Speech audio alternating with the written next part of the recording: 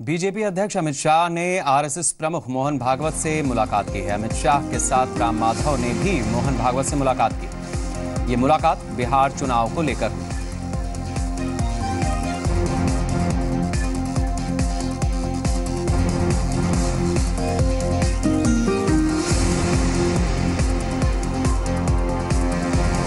बड़ी खबर इस समय। बीजेपी अध्यक्ष अमित शाह ने आरएसएस प्रमुख मोहन भागवत से मुलाकात की है।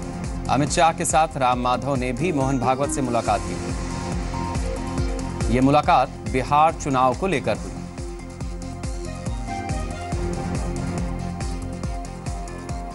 और आइए सीधे रुक करते हैं प्रधानमंत्री नरेंद्र मोदी का।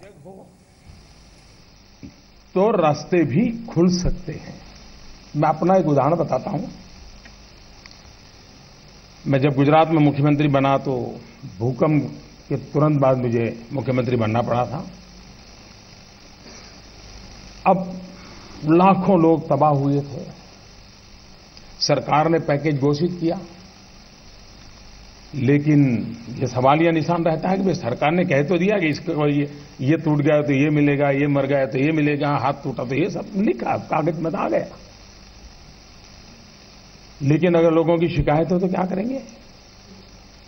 तो उस समय मैंने हाई कोर्ट से रिक्वेस्ट की थी। मैंने कहा, मुझे लचीली व्यवस्था चाहिए, अगर आप मेरी मदद कर सकते हैं तो। तो उन्होंने कहा, क्या? मैंने कहा, हमारे भूकंप पीड़ित जो लोग हैं, उनके लिए एक एम्बेड्समेंट की व्यवस्था हो और सरकार की ये योजना है, उसके पास रहे। वो चाहे तो सरकार आकर के उनको ब्रीफ करते कि ये हमारा पैकेज है। और जिस किसी नागरिक को जो इसका हकदार है। और उसको लगता है कि सरकार ने मेरे साथ न्याय नहीं किया। उसके लिए आप ये व्यवस्था दीजिए।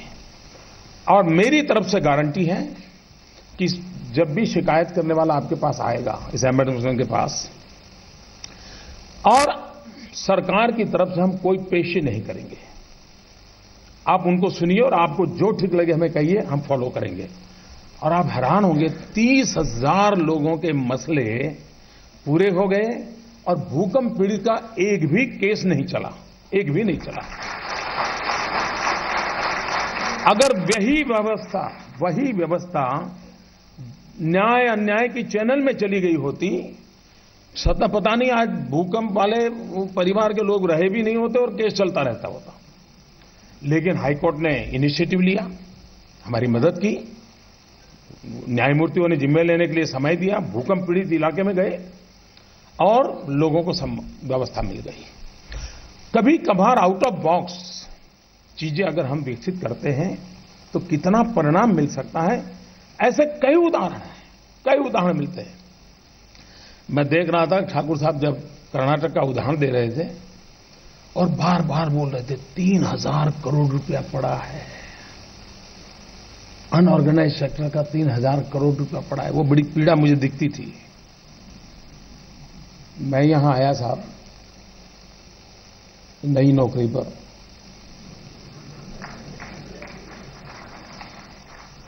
और मेरे ध्यान में आया,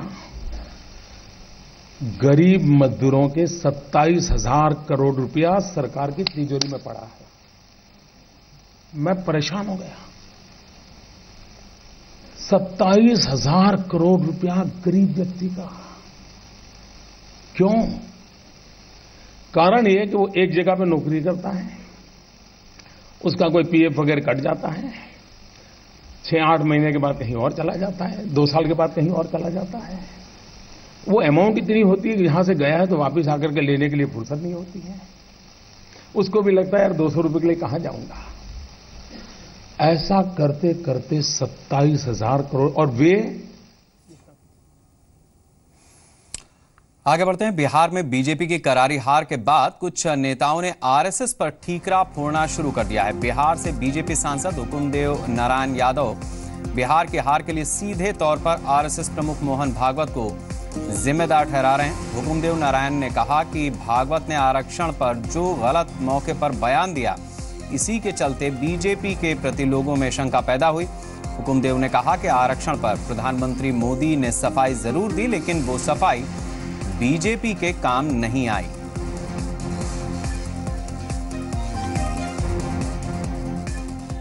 कई कारण हैं, लेकिन उन कारणों में एक ये सबसे महत्वपूर्ण कारण है, बड़ा कारण है। क्योंकि बिहार के लोग